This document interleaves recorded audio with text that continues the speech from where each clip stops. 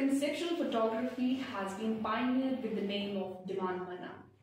He has presented his craft, his art, in lots of different places throughout India and across abroad as well.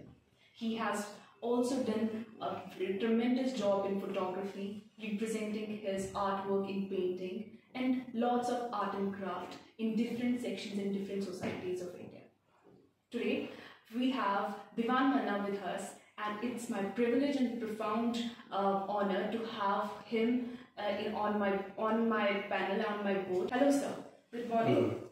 Sir, uh, as you are you are a pioneer of uh, photography and art and craft in India, you have done a lot of work when it comes to a series of alienation in 1980s. I've I've seen a lot of your body work, what what you have done in the past. And uh, so, what do you think? Is this uh, concept of alienation still works in India or abroad as well? Uh, some people say that I'm pioneer of conceptual photography in India. Conceptual So, photography. but coming to your point, nobody is a pioneer. Things have been happening for a long, long time. It's only nomenclature people give you, you know, and you accept it. But that's fine, but as long as it, uh, it's not really uh, that way attached to mind that I am the only one. It's not the case. There are a lot of people who are doing good work, so we should all appreciate all of them. Anyway, so when you come to alienation, alienation is an ongoing uh, phenomena. You know, the human beings are uh, made in such a manner, their body chemistry or biology, as we all know, like thousands of years of uh, our development and progress has not really made us uh, uh, understand or kind of come to the terms that how to live in harmony with each other, how to live in peace. People have been killing each other thousands of years ago. Not only this, but other aspects of human personality are such in which there are so many things happening at the same time, so many worries, so many you know, other responsibilities that one is not really able to cope with all the things one is you know, given the responsibility for. That's why uh, those situations arise in which one feels alienated. So which is, which is I wouldn't say fair, which is there. We have to accept it to compete in the world, or, or not rich enough, or not really uh, deep enough.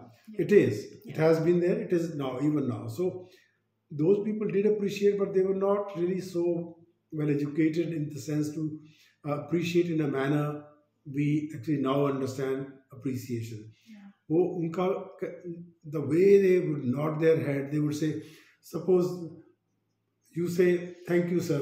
Yeah. You know, the somebody, when an elderly lady, and you can say Joda Rai beta.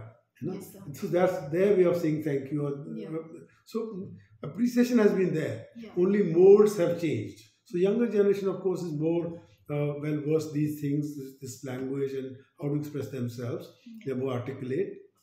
At the same time, there is more education. Yeah. There is more access to all the you know things which are happening around the world. So young, younger generation is not as appreciative as as would, would expect.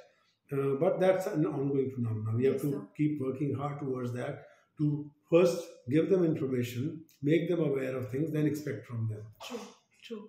Um, sir, as you uh, as you have also worked with movies in films, uh, you have also done a lot of work in acting as well. So there has been a paradigm shift in your career that you came from uh, uh, you went uh, in films and then you came on digital platform and you showcase, showcased your craft, you showcased your paintings, uh, plus your photography as well.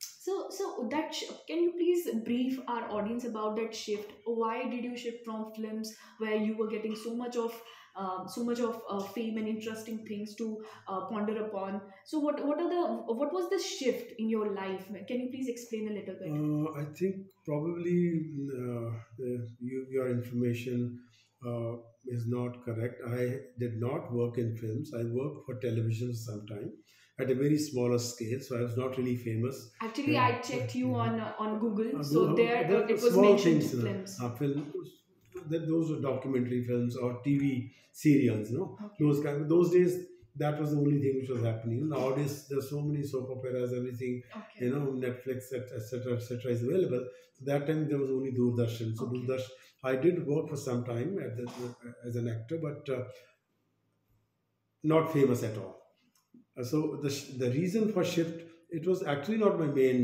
uh, kind of um, say forte or Okay. discipline of my creativity. I was primarily an artist Okay. and uh, then photographer. So that is what has been I've been doing regularly. In between, I did that as well, but I realized that I'm not a good actor. Okay. So so that's the reason